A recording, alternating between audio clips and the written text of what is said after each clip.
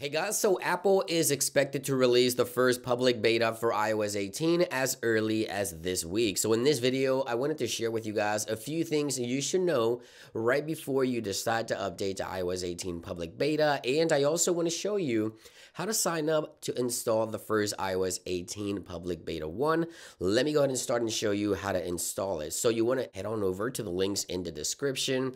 It'll bring you right here, as you can see right there. This is Apple's public beta testing program. This is for iOS, iPadOS, macOS, tvOS, and watchOS. Of course, right now it says coming soon because obviously it is expected to drop this week. It hasn't been out just yet, but by the time you watch this video, it may be already available to you. So what you want to do, if it is available, you want to go here and click on sign up. Right there it is. Click on the sign up button, and then it will ask you to log in with your Apple ID. Click sign in. Once you sign in, it will redirect you to go ahead and install the beta for whatever devices that you would like. So if it's an iPad, you choose iPad OS, obviously. Mac, of course, we're doing iOS right here. Right now is only letting me use iOS 17. Obviously, as I mentioned, the first public beta for iOS 18 is not available just yet as of the filming of this video, but let's pretend it's already out. So just go ahead and select iOS and then what you want to do next right here is enroll your iOS device. Click on that.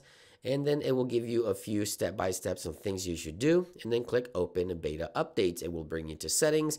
And right here, you should see the first public beta available for you to download. So just make sure you select public beta and then go ahead and refresh your settings and your first public beta to download should be available to you once Apple makes it available. Now, there's a few things you should know right before you take the step to download iOS 18. Honestly, I've been using developer beta for over a month now, and there's still a few issues. Obviously, as you could expect, it is beta software. There's an issue where my AirPods just constantly disconnect from my iPhone, so just keep in mind that if you use AirPods a lot, this could be an issue for you. Again, keep in mind this is all beta software and there's going to be bugs and issues. Now, there's also an issue that I've come across where some of my banking applications and payment services on my iPhone are not working correctly within the latest iOS 18 developer beta running on this device. So just keep in mind that if you have financial or banking applications and other payment services, these may not work correctly with iOS 18